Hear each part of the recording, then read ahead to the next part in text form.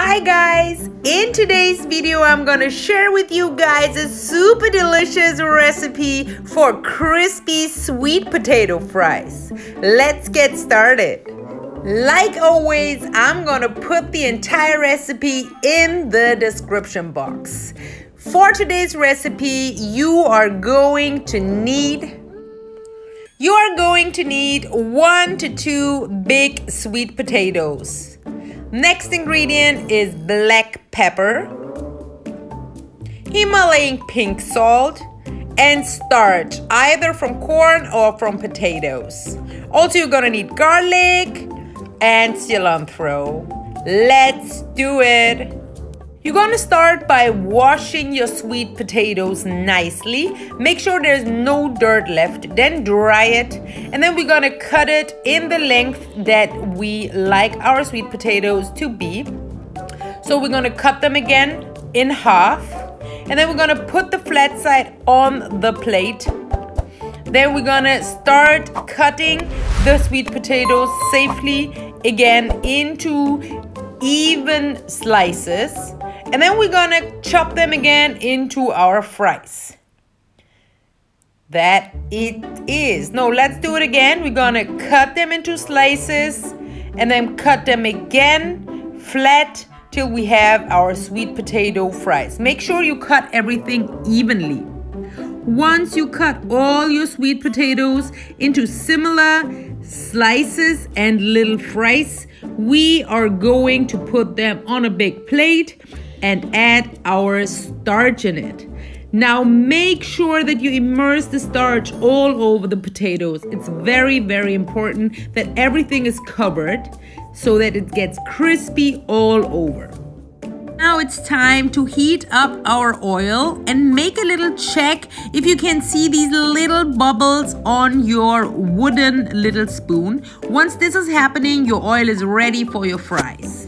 Now in the next step when we add our fries into the oil, we are making sure that there is enough oil for each fry. Meaning we want each fry to be covered by oil so that it gets golden brown and crispy all over. Do not leave the pan alone as this process is going very fast.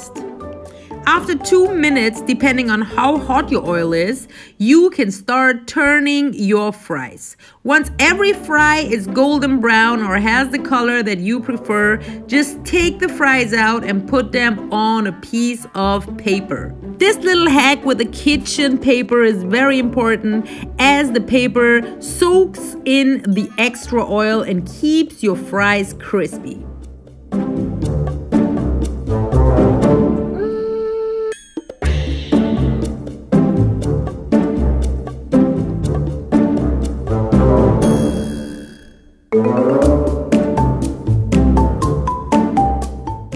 Once all your fries are done, just make sure that you cover all your fries with pepper and salt. Add your chopped cilantro and garlic and enjoy your sweet potato fries. Definitely with either homemade mayo or homemade garlic dip, the aioli.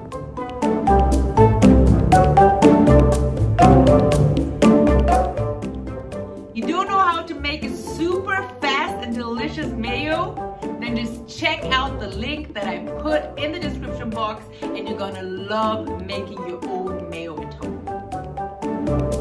And also I'm gonna put the link for the aioli in the description box for all my garlic addicts. But now it's time to enjoy the sweet potato fries. Guys, also let me know if you want to know any other recipes that I can share with you. Video. Do not forget to hit the like button, to subscribe, and come back next Friday because I'm gonna upload another delicious recipe video. Bye! Isn't it wonderful that we all have more than enough food on our plates every day? Yes, it is. But unfortunately, this is not the truth for many kids on this planet. But together, we can make a difference. For less than 70 cents a day, you can share three meals a day. I'm gonna leave a link down below so that you can share a meal a day. Thank you so